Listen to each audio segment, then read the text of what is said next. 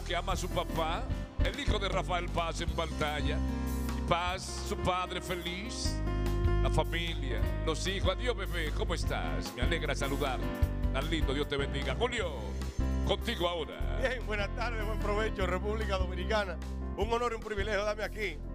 Saludar a los compañeros, la Bella Chanti, ahí está Ridio, el compañero Rafa Paz, el compañero Rafael oh, Ventura. Mira qué joven está. Tu papá tiene uno allí. Ese es David, el hijo de Rafa. Aquí está Uri, conocido también como Uri Salami. Y Larry. ¡Hey! ¡Qué joven está Larry! Mira el muchacho. Le ha entrado bien la Navidad. Bueno, tenemos mucha información el día de hoy, sobre todo a nivel internacional. Ya comienza la alegría, el entusiasmo de los argentinos por su presidente, porque banda transición. Se pide la transición que es dramática, señor Julio Clemente. Con la tranquilidad que nos caracteriza, siempre con la parsimonia que tenemos, les decimos que vamos a dar la información, que es lo que en este momento demanda la nación. Y nos vamos a nivel internacional para iniciar el primer aguinaldo navideño que tiene mi ley. ¡Hay un lío! ¡Hay un lío! ¡Hay un lío! ¡Hay un lío! ¡Hay un lío! ¿Y saben qué? Se armó el lío, se armó el lío, se armó el lío, se armó el lío, se armó el lío. A los que pensaban que al hombre le iba a ir tan fácil, de que él sí, porque somos libertarios, carajo. Ajá. Tres mil personas se lanzaron a las calles en el día de ayer en contra de los primeros ajustes que el señor Javier Milei ha realizado en Argentina. Comenzó el sabor allá, hermano.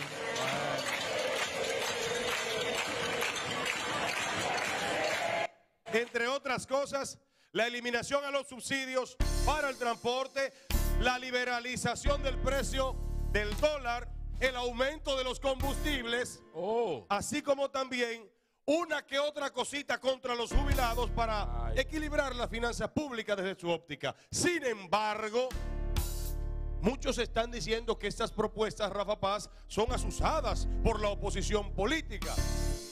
Pero ya comienza a sentirse la embestida de las reformas necesarias o no que demanda ese país y sobre todo en estos momentos donde hay una sociedad que está prácticamente dividida entre justicialistas y libertarios.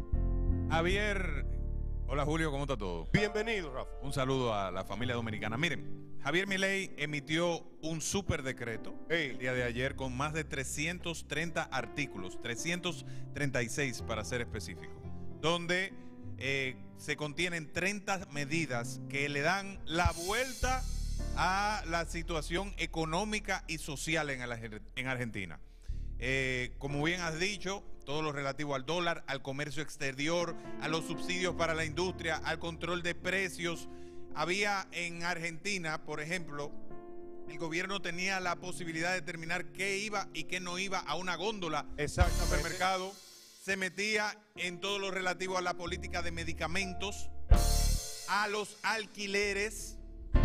Y todas estas medidas buscan liberalizar los precios. Obviamente. O sea, colocarlos a la demanda del mercado. Correcto, es una medida de choque y como él había anunciado, era un choque duro, pero que buscaba generar un cambio en la situación de hiperinflación de Argentina. Lo siguiente es, Rafa, que inmediatamente Milei asumió la presidencia de ese país, el dólar argentino se disparó y si había hiperinflación, la inflación tomó niveles galopantes porque allí el dólar aumentó más de un 100% y la protesta parece que van a rendir más que David, el hijo de Rafa. El show sigue saliendo para todos en breve. Hola, eh, el show del mediodía. Sale para todos.